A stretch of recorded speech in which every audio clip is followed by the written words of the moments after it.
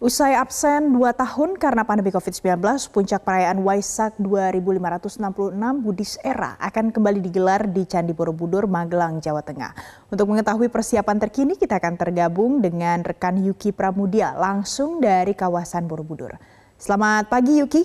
Yuki, hingga, hingga pagi hari ini prosesi Waisak apa saja yang sudah dan akan dilakukan? Pak Valen, eh, terkait dengan prosesi Waisak, sudah kita di Borobudur ini sudah dilakukan sejak uh, Sabtu kemarin ya ini dibuka melalui pembagian ribuan paket sembako kepada masyarakat di sekitar Borobudur dan juga pengambilan api dharma di Robokan dan sudah disemayamkan pada uh, Sabtu kemar Sabtu sore kemarin di Candi Mendut.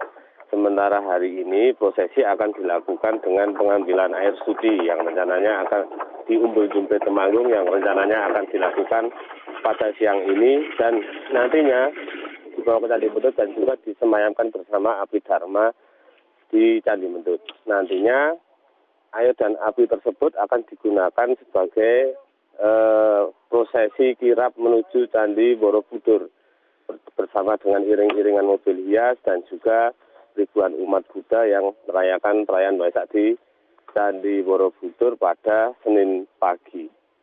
Valen. Yuki, kemudian bagaimana dengan persiapan altar utama di Candi Borobudur saat ini? Untuk persiapan altar utama sendiri masih dilakukan oleh uh, panitia penyelenggara Waisak Nasional 2566 Budis Era tahun 2022 ini.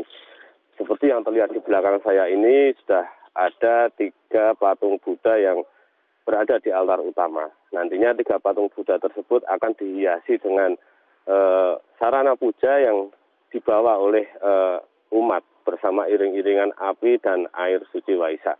Nantinya di tempat ini umat akan uh, melaksanakan prosesi detik-detik Waisak dan juga Dharma Santi Waisak. Sementara pada detik-detik sendiri akan berlangsung pada siang hari dan Dharma Santi akan berlangsung pada malam hari.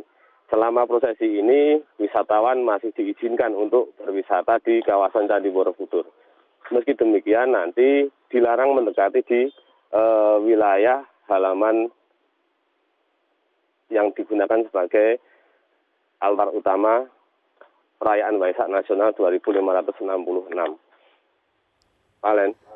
Baik, terima kasih untuk informasi dan laporan Anda Yuki Pramudia langsung dari kawasan Borobudur. Dipersembahkan oleh